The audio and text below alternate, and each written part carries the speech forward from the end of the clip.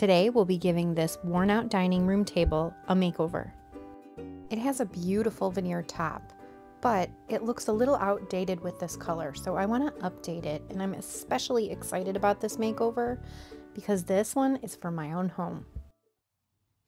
Now let's flip it. The first thing I want to do is sand the tabletop, and I'm going to start by using an 80 grit sanding paper and then I'll work my way up in grits.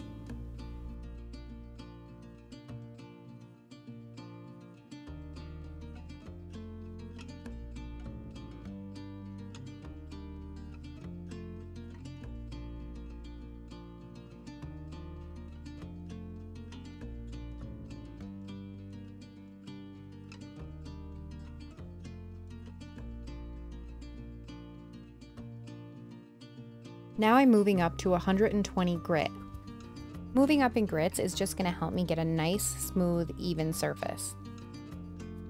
I go over the entire tabletop.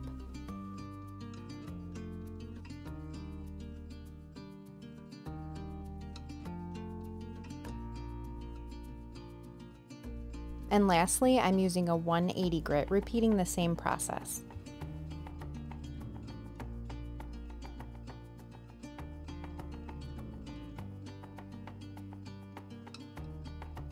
Now I brought my piece back in the house and it's time to give it a good cleaning.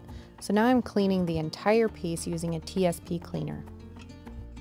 And when I finish with the TSP, I go back with just a damp cloth with water and I rinse to make sure that there's no TSP left on my piece. Now I've decided that this piece needs a bonding primer. So I'm using Country Chic's Clear Bonding Primer. As you can see, I tried to sand the beveled edge on the tabletop. It turns out that there's no veneer underneath the edge, so there's just pressboard if I was to sand. So I don't want to sand it and I want to leave the existing finish. Now the existing finish is extremely smooth and shiny, so I need to put a bonding primer on it to make sure that my paint adheres properly. This is my first time using Country Chic's bonding primer and I was so impressed. It's just so simple to apply. It goes on with such ease and it just glides on your piece. Because it was so simple, I decided to finish the rest of the base with the bonding primer. I'm not really sure what the finish is and it is a little glossy so I thought that this would help with the paint to adhere you know for the long term and I would cover all my bases and have peace of mind knowing that my paint wouldn't peel up or anything. Country Chic recommends that you apply one coat of primer and then wait several hours before applying your paint. I applied one coat of primer and then I waited overnight just because that's how it worked out for me. The color I chose to paint the base is called Soiree, and I'm using the 2 inch Country Chic brush to apply the Soiree.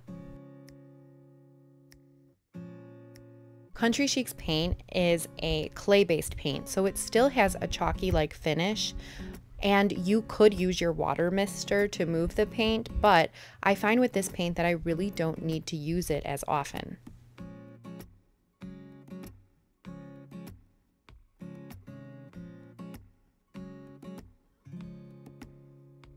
Painting the edge of this table was really simple with the Country Chic 2 inch brush. I thought I was going to switch over to the 1.5 inch Country Chic brush for this edge, but I did not have to. The 2 inch worked just fine and it gave me really nice clean lines. Here we are about an hour later and my first coat has dried, so I'm going to apply a second coat. Because I've put a really light color over black, I'm definitely gonna need a third touch-up coat. So I usually just do one full coat and then two full coats, and then I'll go around the piece and see if there's any sections that weren't completely covered. If there's a little bit of the um, original finish or the black, uh, say on this piece, the black showing through, then I'll just touch up that section.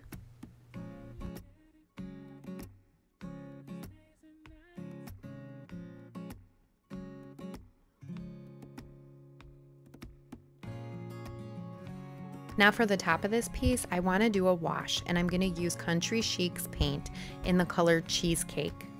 This is a white on the warmer side. I love the way that the natural wood looks on this table, but the reality is the second I put my sealer on it, it will turn extremely warm. And I don't want it to be extremely warm. I just want it to be a little bit warm. So adding a wash is a great solution to this. So I just add a little bit of my paint and I add about equal amounts of water to it.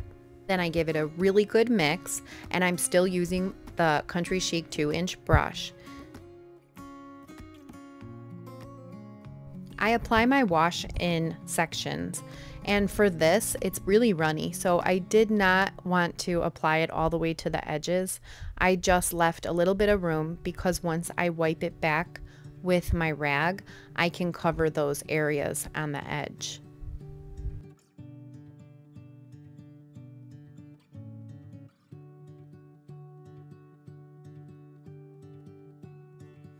To wipe back the wash, I usually use a lint-free cloth.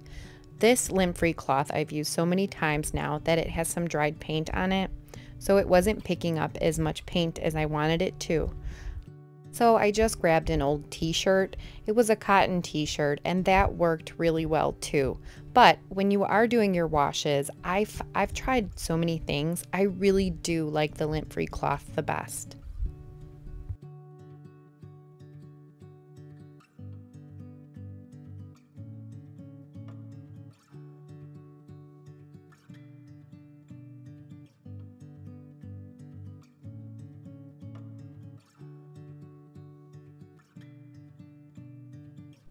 For the remainder of the table, I continue applying the wash and then wiping back.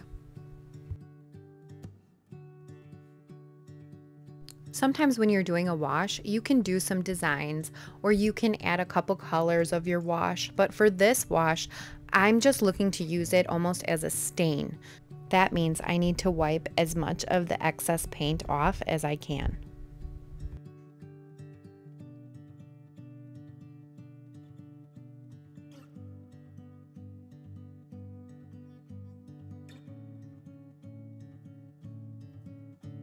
I continue the same process for the remainder of the table. And when my first coat was dry, I decided it needed a second coat. And this was because there was a little bit of unevenness. So I don't want a lot of coverage with the paint on this. I still want to see that beautiful wood grain. So the solution to this is adding a second coat with a little bit more water so that you can still see the wood grain, but you still get the coverage and there's no streaking or anything like that.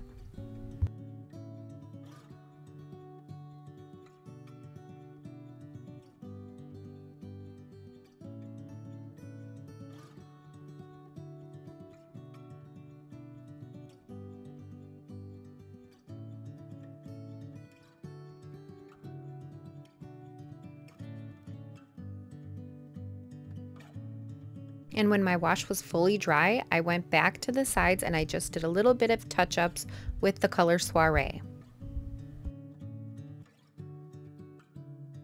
Now I need to seal my piece and I'm going to seal the base and the edges using Country Chic's clear coat.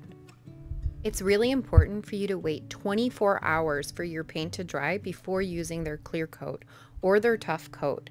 This is to avoid any streaking. The clear coat is really easy to apply and I applied a total of three coats, waiting about two hours in between coats. It seems like the clear coat dries really fast, but Country Chic recommends to wait two to three hours. So that's what I did and it worked out really nice and my finish came out beautiful.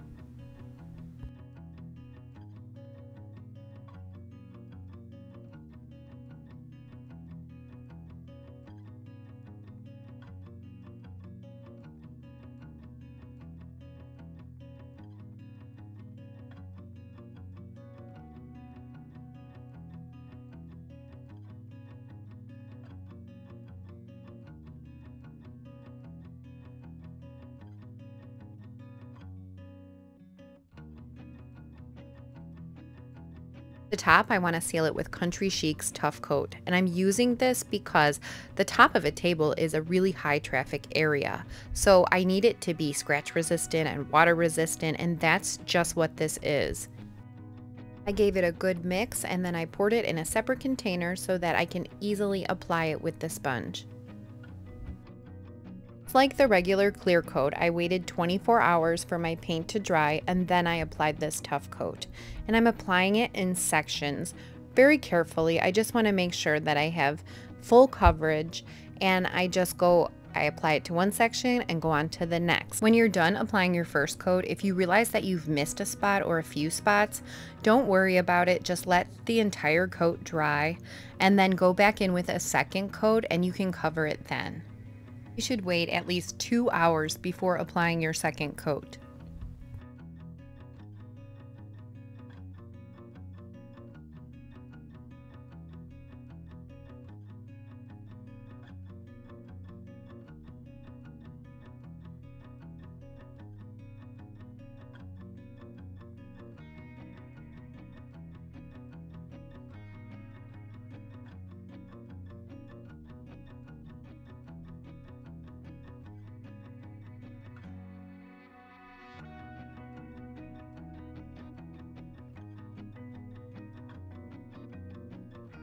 Here's a reminder of what the table looked like before. And here it is after. I love this table so much. I have been planning it and planning it, and I love the way the top turned out. It is my absolute favorite. I started working on chairs for this table, and I was painting them in soiree, but I've stopped now because I'm now I'm thinking maybe I should match it to the runner and I could do driftwood or maybe canopy. Let me know which you would choose down in the comment section below. I would love to hear your opinions. And if you enjoyed this video, please hit the like and subscribe button and I will see you next time.